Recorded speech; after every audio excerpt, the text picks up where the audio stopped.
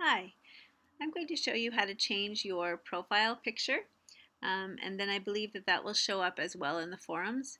When we are not able to meet together in person, it really helps to have even a, a little picture beside our profile for the forums. It just gives that extra personal touch that I think we need as human beings. So this is how you do that. You go up to um, your name will be here when you've logged in. So you click on that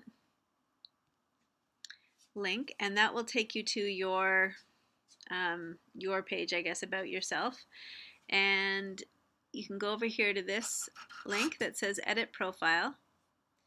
And then you can change here any of the things that uh, that you'd like to uh, to change or need to change. Um, you can add a description of yourself if you'd like to.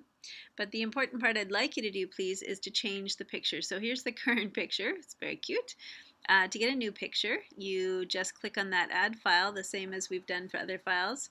You choose your file, and that will take you, sorry, I chose upload a file and choose a file, and then that will bring you to your, uh, your computer, and wherever you've stored some pictures, I have a, a file on my desktop where I put all the pictures I might want to use for my courses or for my blogs. Um, and so you can just go through there and choose one and forget where mine is, but it's here somewhere. Let's say that I wanted to choose, where'd you go? This picture.